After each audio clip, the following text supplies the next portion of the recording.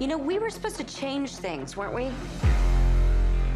I wanted to make a difference. I need to have a say in the future of this place. I want to build something that matters. I want to win. It isn't real. It's all smoke and mirrors. You need a miracle. I am offering you a lifeline. Five, four, three. Honestly, let all the secrets come out. They did not protect me. They didn't protect you, but I did. It's time to smash and shatter. Let's burn it all down. I hope it was all worth it. Everybody fighting for it. Everybody wants the power.